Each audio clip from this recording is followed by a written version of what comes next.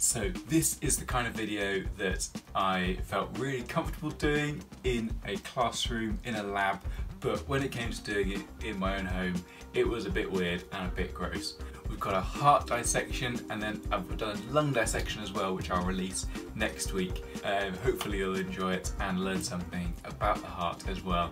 There are more videos about the heart and about the circulatory system that I've done as well. Um, check them out, I'll put the links in the description below. Um, but yeah, let's get dissecting.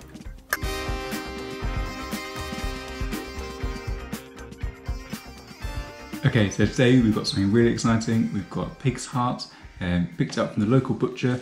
And what they'll often do is they'll often slash it to drain the blood from it. And so I've just followed through on one of those cuts and I opened up one of the chambers. Okay, so you can see there are different textures on the outside of the heart.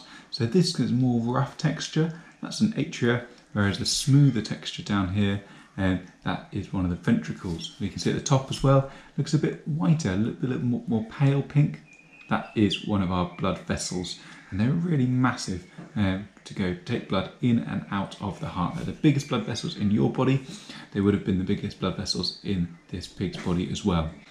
So if we open up um, one of the chambers here, you'll see it's got these sorts of funny little um, divots in it.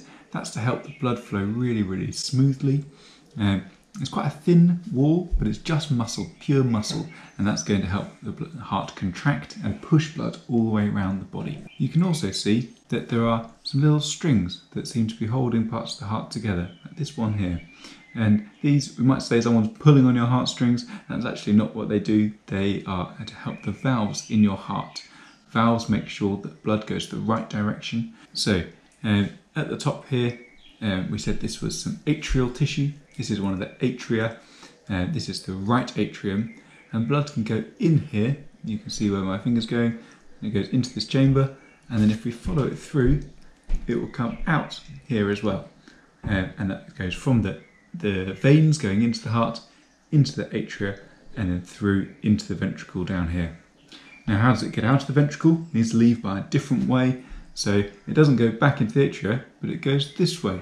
Uh, and it goes round and then it goes out of this blood vessel here.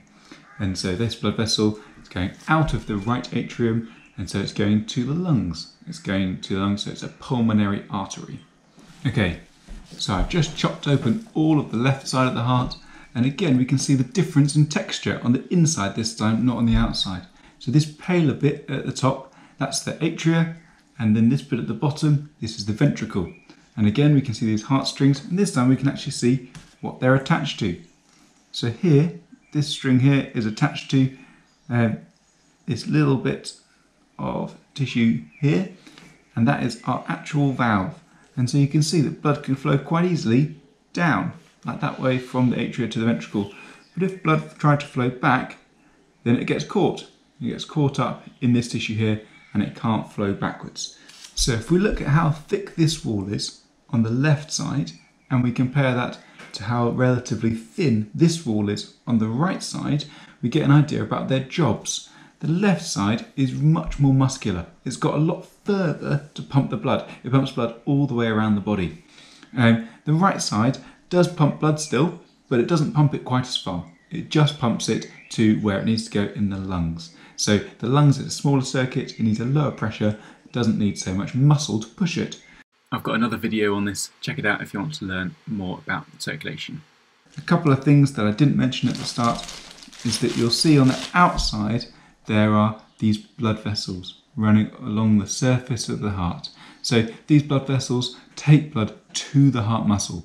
They're really, really important. They're called coronary vessels. If we didn't have coronary vessels, then the heart muscle itself wouldn't have the oxygen it needs in order to pump, in order to push blood around, and so the heart provides oxygen for itself as well as for the rest of the body. I really hope you enjoyed that. I hope that it was useful, interesting, um, not too gross. Why don't you check out some more videos on my channel, they'll be popping up um, here. And if you liked it, then like, comment, and subscribe. And let's see if we can get to 100 subscribers.